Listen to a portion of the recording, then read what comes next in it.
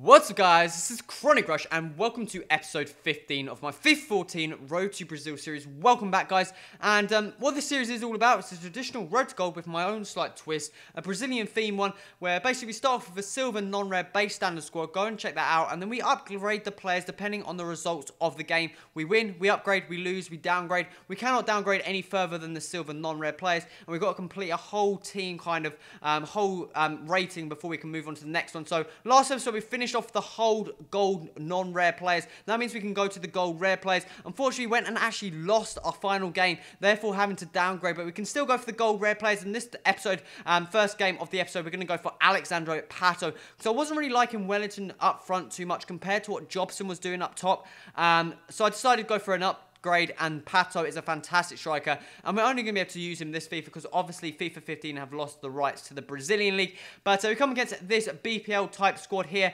um, with Adel Lamy and Rossi and El Shaarawy on the left-hand side of the team. Uh, but a 50th minute, kind of boring game so far. I was just trying to keep possession, make sure he wasn't scoring. Uh, but a nice ball into Douglas Costa down the right-hand side. Clichy um, falls for the kind of fake, put that ball in to the head of Wellington, who's going to nod that in to go and make that 1-0 in the 52nd minute. Ederson here with an absolute thunderbolt of a shot. Fantastic shot indeed. And third time lucky, going to get that past the keeper to go and make that 2-0. And that's the final score. As you can see there, dominated him in possession. Um, shots I kind of dominated him on as well. And like I said, I was just trying to keep the ball as much because if he doesn't have the ball, he can't score, which is a great tip, guys. Um, but um, that means we can go and get our first gold rare player into the team. We're going to swap out Wellington for Alexandre Pato. Pato being a fantastic striker on FIFA. Most FIFAs, he's very, very solid. He's got skills, he's got good finishing, he's got pace. That's what you want up top. Uh, but we're going to go into the next player, which is going to be Diego, the cam for Atletico Madrid. I believe he's now playing in the Turkish league, I think, off the top of my head. I'm not too sure on that one, unless he is still playing. I got completely confused. But uh, we come against this team, and look at that. That's such a strong team. Three informs an international man of the match and two team of the season cards, with the addition of Falcao, Lucas Moura, Thiago Silva, Lavezzi, and, Al and, and Saladi on the left back. And um, I, I, was not, I was, I was thinking was going to get absolutely arse rinsed here, I'm not going to lie. Uh, especially when a goal from that, from I believe that was James Rodriguez there, is going to go and make that 1-0. Pato here picks a ball up and lovely, lovely fake shot to find some space into the path of Fernando. Um, sorry, Fernandinho. And he's going to shrug off the challenge there and he's going to just smash this into the back of net to go and make that 1-1 there. And I thought this, this was a chance until I fucked up. I got no idea what my centre-back was doing um, with that stupid fucking back heel. And I knew I was going to concede from doing that. I just knew.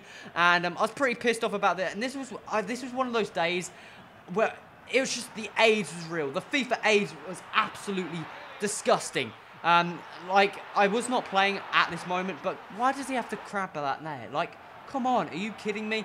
And then he does the exact same here. There's no one playing on the controller, and you've got to do that, which it, it just annoys me. But I was so frustrated about this game. Um, as you can see there, I had six shots on target and only put one in the back of the net. The possession was fairly even, but the amount of, like, every shot he was just saving. I just could not put anything in the back of net. But that means we're going to have to downgrade. Roberto Firmino is going to downgrade to Leonardo. Leonardo's been one of those players that just he's always seemed to be back in the team. I just can't get rid of him, really. Like, it's, it's getting slightly frustrating.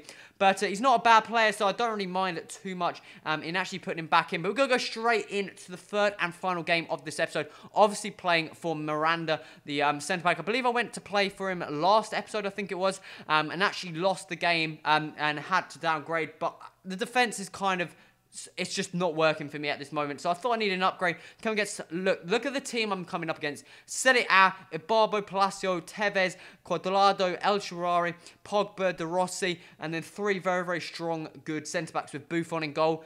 Compared to my team, it's just the ratings, the play, the quality of the players, it's just so high that I just have a lot of trouble um, getting it into the back of the net because and I make mistakes quite often. But um, there you go. He goes and puts that 1-0 there with a bad mistake from my player. And I actually do go and take him down for a penalty. Which at first, I didn't think this was a penalty. I was adamant this was not going to be a penalty. But on the replay, yeah, you could argue I just barely touched him. But um, I did just go through him, and he's going to go down. He's going to go and score this penalty to go and make that 2-0. Um, we then move into the 65th minute, and it was just not working. Every header he was winning. Um, look, what was my centre back doing there? If anyone else saw that, I, I was going to do, you know, on the match of the day where they do the like, circles and the arrows and all that shit. I was going to do that there because I just, the run he made, it was like he was in a striker. And look at the amount of shots I had on target Nine, zero put in the back and there. What the fuck is going on? Like, I know Buffon's a good keeper, but when someone has 9 shots on target and you can't score, there is something seriously wrong and it's just not my day. But obviously, we're going to have to downgrade Juan Jesus to Felipe to go into the centre back position. And guys, it's coming towards the end of the episode. We're not playing too well with the squad. Like I said, it's always hard going into a transition to the next rating uh, to the gold rare players because you obviously downgrade if you lose and it gets harder. It gets in this vicious cycle. But uh, it's coming towards the end of the episode. Also, remember that like button. Also, remember subscribe to stay tuned to the series and any feedback in the comments would be much appreciated. Guys, this has been Crush. Till next time, adios.